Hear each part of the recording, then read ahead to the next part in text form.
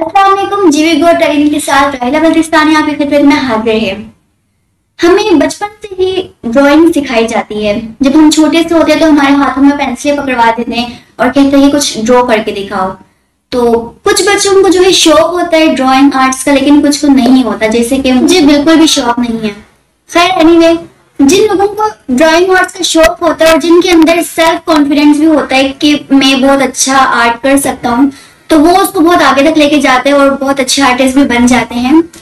वैसे ही आज मेरे साथ आप लोगों को पता होता है जीबी होटल में कोई ना कोई गेस्ट होते हैं। वैसे ही आज मेरे साथ एक गेस्ट मौजूद है। आज जो मेरे साथ गेस्ट मौजूद है इन्हें ड्राइंग का बहुत शौक और बहुत अच्छी ड्राइंग करते भी हैं। सो so, आइए हम इनसे मिलते हैं और इनसे खुद पूछते हैं इनके अंदर शौक कैसे आया कब से ये ड्राइंग कर रहे हैं। साकिब साहब कैसे हैं आप? वालेकुम अस्सलाम मैं बिल्कुल ठीक आप कैसे मैं भी बिल्कुल ठीक हूँ अलहमदिल्ला थैंक यू सो मच बहुत खूबसूरत है ये. बहुत प्यारा है आप लोग देख लें बहुत ज़्यादा प्यारा है.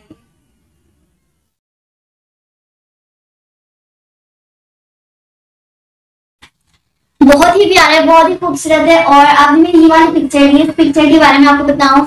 ये हमारे नूरोज का फ़ंक्शन था. उसमें मैंने ये गलती ड्रेसिंग की थी और ये अवार्ड मुझे बारसा फातमा ने दिया था.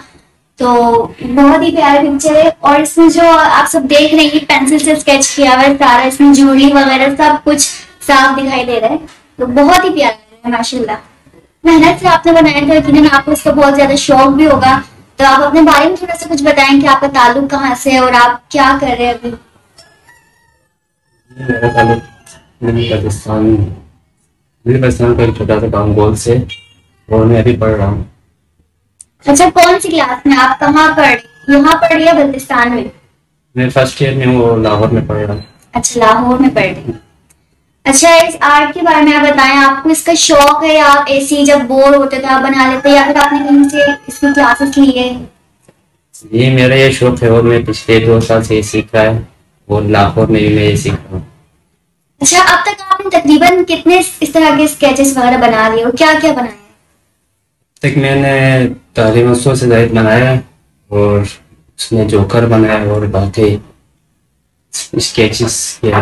मतलब लोगों के लोगों के, और जानवर मतलब चौकिया बना लेते नेट से पिक्चर देख के या फिर लोग आपको ऑर्डर देते हैं या फिर दोस्त वगैरह कह रहे थे कि एक बना दो उस तरह से?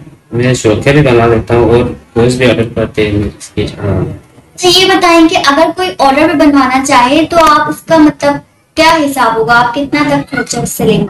स्केच बनाने में बहुत मेहनत लगती है और अगर कोई दोस्त बनवा दे।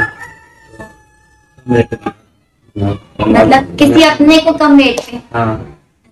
और अगर दूसरों को मुनासिब रेट में अभी मैंने काफ़ी जगह पता किया था तो वहाँ पर इस पे जो मेहनत लगती है उसके अच्छे खासे जो है खर्चा लिया जाता है।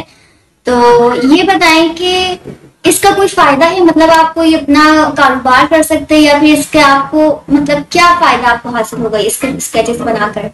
इसका बहुत फ़ायदा है और हम लोग कारोबार भी कर सकते हैं स्केचेस को बेच के और जो भी मिलती है फ्यूचर में आपका क्या इरादा है कि आप इसी का ही बिज़नेस करेंगे? आर्टिस्ट बन जाएँगे? जी हाँ artist बन जाएँगे, इसी के business करेंगे। अल्लाह अल्लाह आपको अपने मकसद में कामयाब करे और तरक्की दे। तो ये कुछ स्केचेस वगैरह जो इन्होंने बनाए थे, वो आपको मैं दिखाती हूँ और ये जो मेरी पिक्चर है इसे बनाते हुए इन्होंने एक वीडियो क्लिप छोटी छोटी सी मुझे सेंड की थी। तो वो भी मैं आपको दिखाती हूँ कि कितनी मेहनत लगती है और किस तरीके से इसे बनाया जाता है। आप वो क्लिप देखिए और साथ में इनकी हौसला अफजाई भी करें। और अगर आप भी इस तरह का प्यारा सा स्केच अपना बनवाना चाहते हैं तो आपको डिस्क्रिप्शन में इनके फेसबुक का लिंक मिल जाएगा। साकिब अली के नाम से है, उसमें आप इन- इनसे कॉन्टेक्ट कर सकते हैं और अपने स्केचेस वगैरह भी बनवा सकते हैं। और मैं अपनी नेक्स्ट वीडियो तक के लिए इजाज़त चाहती हूँ। अल्लाह हाफिज।